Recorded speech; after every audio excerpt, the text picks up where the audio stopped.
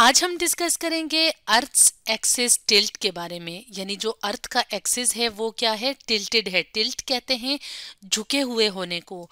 तो अर्थ का जो एक्सिस है उसका टिल्ट कितना है? तकरीबन 23.5 डिग्री, यानी इतना एंगल बनता है।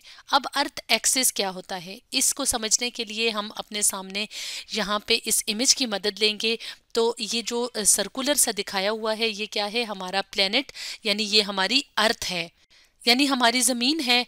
तो अगर हम बात करें एक्सिस की, यानी अर्थ के एक्सिस की अगर बात करें तो अर्थ का एक्सिस जो है, वो पॉइंट होता है जो कि अर्थ के एक पोल से शुरू होता है और दूसरे पोल तक जाता है। तो अगर हम यहाँ पे देखें, यहाँ पे ये जो लाइन हमें शो हो रही है तो ये एक इमेजनरी लाइन ड्रॉ की हुई है, यानी अर्थ का एक्सिस जो है वो ऐसे होने चाहिए। लेकिन असल में होता क्या है कि अर्थ का एक्सिस जो है वो मेन पॉइंट से हटा हुआ होता है टिल्टेड होता है तकरीबन कितने एंगल पे? 23.5 डिग्री के एंगल पे। और इसलिए हम कहते हैं कि अर्थ का एक्सिस ये वाला बनता है, ये जो पिंक लाइन से शो किया हुआ है, जो कि कहाँ से शुरू होता है? नॉर्थ पोल से शुरू होता है साउथ पोल तक।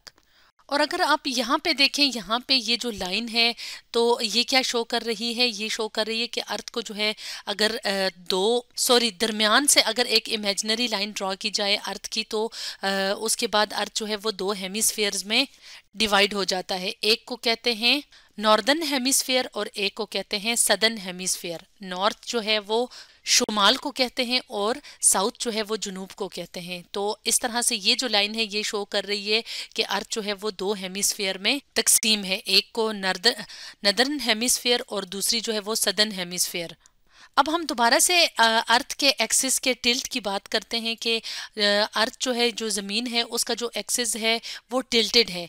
तो इस टिल्ट यानी इस झुकाव के होने की वजह से क्या होता है कि इस झुकाव की वजह से जो सूरज की रोशनी है, यानी जो सूरज की शुआएँ पड़ती हैं ज़मीन के ऊपर तो वो डिफरेंट लेटीट्यूड्स के ऊपर पड़ती हैं। यानी इक्वेटर के नॉर्थ साइड पे पड़ रही है या साउथ साइड पे पड़ रही है तो वो क्या है? वो डिफरेंट एंगल से पड़ती है।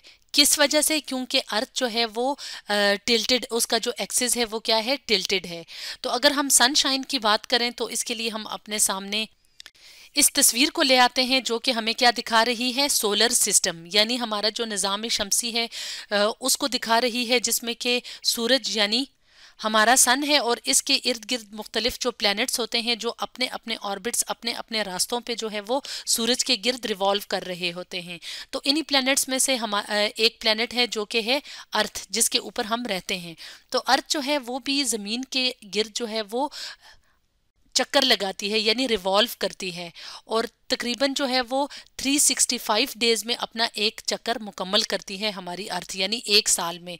तो एक साल में आपने जो है वो मुख्तलिफ़ सीजन्स देखे होंगे, यानी एक साल में जो है वो कभी गर्मी होती है, कभी सर्दी होती है, कभी बहार, कभी ख़जा होती है।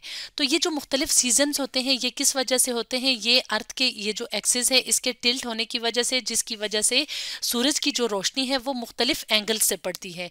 यानी नॉर्थ साइड पे या साउथ साइड पे मुख्तलिफ़ एंगल से पड़ती है, जिसकी वजह से हमें मुख्तलिफ़ सीजन्स मिलते हैं, यानी मुख्तलिफ़ मौसम जो है वो हमें मिलते हैं। तो इसलिए हम कहते हैं कि क्योंकि सूरज जो है वो डिफरेंट एंगल से जो है वो मुख्तलिफ़ लेटीट्यूड्स पे चमकता है, इसलिए हमें मुख्तलिफ़ सीजन्स देखने को मिलते हैं। अब हम अपने सामने एक और डायग्राम ले आते हैं और इसकी मदद से देखते हैं कि किस तरह से हमें साल में मुख्तलिफ़ सीजन्स देखने को मिलते हैं। तो यहाँ पे अगर आप देखें, ये जो एरोस से जो रास्ता शो किया हुआ है, ये कौन सा रास्ता है? ये ऑर्बिट है, यानी ये वो रास्ता है जिसके ऊपर ज़मीन जो है, वो अब सूरज के गिरद क्या करती है? रिवॉल्व करती है, यानी चक्कर लगाती है। तो इससे पिछली वीडियो में हमने देखा था कि किस तरह से ज़मीन जो है वो स्पिन करती है अपने एक्सिस पे। स्पिन का क्या मतलब होता है कि अपने ही एक्सिस पे जो है वो के गिर्द जो है वो चक्कर लगाती है, जिसकी वजह से हमें दिन और रात यानी डे और नाइट जो है वो हम सॉरी दिन और रात होते हैं। तो अगर बात करें रिवॉल्व की रिवॉल्व का मतलब होता है कि अर्थ जो है वो ज़मीन के गिर्द जो है वो चक्कर लगा रही है अपने ऑर्बिट में। और क्योंकि जो है इसका एक्सिस टिल्टेड है, इसलिए सूरज की रोशनी जो है वो मुख्तलिफ़ एंगल से मुख्तलिफ़ लेटीट्यूड्स पे पड़ती है।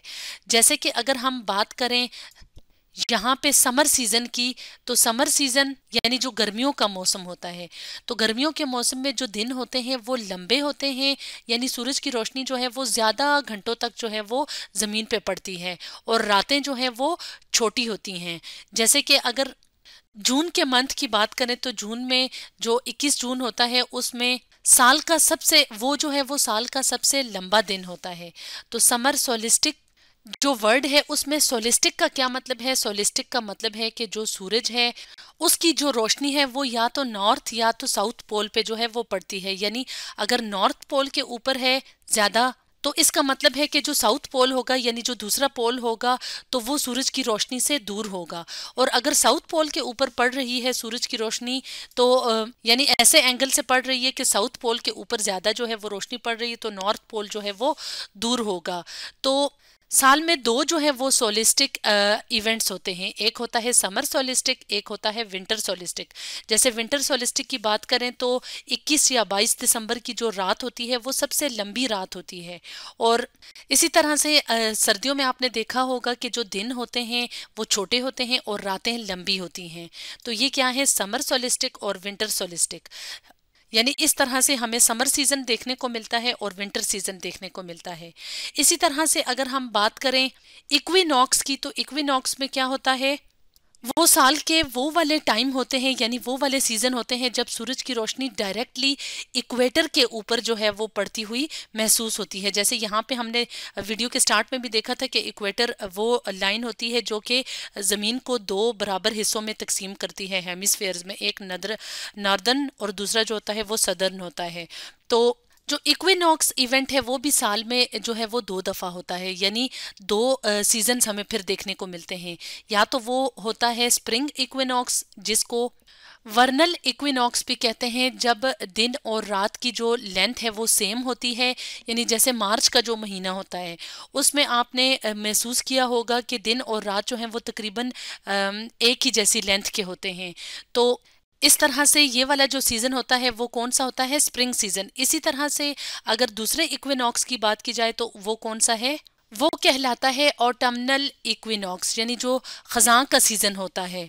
या ऑटम का सीज़न होता है तो उसमें भी यानी जैसे सितंबर का जो महीना होता है तो वहाँ से जो है हम कहते हैं कि ख़ज़ां का मौसम जो है वो स्टार्ट हो गया है। तो उसमें भी क्या होता है कि दिन और रात की जो लेंथ होती है तो वो तकरीबन एक जैसी होती है। इसमें भी क्या होता है, जैसे अगर आप यहाँ पे देखें तो ये जो इक्वेटर की लाइन है तो जो सूरज की रोशनी है, वो इस एंगल पर पड़ रही है। तो ये वाले जो दो सीज़न होते हैं, इसमें ना ज़्यादा गर्मी होती है, ना सर्दी होती है। तो इस तरह से जो अर्थ का एक्सेस है, उसके टिल्ट की वजह से जो सूरज की रोशनी है, वो डिफरेंट एंगल से पड़ती है मुख्तलिफ़ पोल्स पे, यानी नॉर्थ पोल पे साउथ पोल पे, और इसकी वजह से जो है वो डिफरेंट सीजन्स देखने को मिलते हैं। यहाँ पे एक और बात का जानना ज़रूरी है, वो ये है कि जैसे यहाँ पे हमने अपने सामने इस तस्वीर में देखा तो ये जो मुख्तलिफ़ सीज़न है, ये हमें नॉर्दर्न सॉरी नॉर्दर्न हेमिसफेयर में मिलते हैं। तो जैसे अगर नॉर्दर्न हेमिसफेयर में जो है वो विंटर सीज़न है तो जो सदर्न हेमिसफेयर होगा तो उसमें जो है वो समर सीज़न होगा, क्योंकि यहाँ पे जो है जो नॉर्थ पोल है, या जो नॉर्थ हेमिसफेयर है तो उस उसकी हम बात कर रहे थे, उस एंगल से हमने देखा। लेकिन जब दूसरी हेमिसफेयर की बात करेंगे तो उसमें जो है वो इसका ऑपोजिट चल रहा होगा। जैसे कि अगर हम अपने सामने यहाँ पे एक और डिटेल डायग्राम ले आएँ तो यहाँ पे साल के सारे जो हैं वो मंथ्स लिखे हुए हैं और उन मंथ्स के मुख्तलिफ़ सीजन्स लिखे हुए हैं।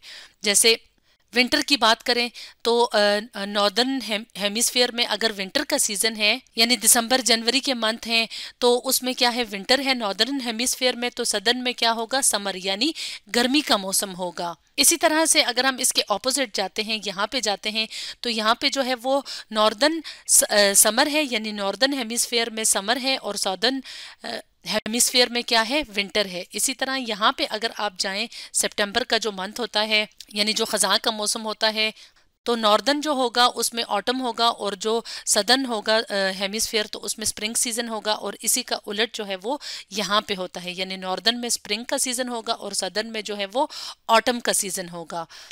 तो इस तरह से आज की वीडियो में हमने देखा कि किस तरह से अर्थ जो है, उसका जो एक्सेस है, वो टिल्टेड होता है और किस तरह से हमें साल में जो है, वो मुख्तलिफ़ सीजन्स देखने को मिलते हैं। तो स्टूडेंट्स आज हमने डिस्कस किया अर्थ एक्सेस टिल्ट के बारे में।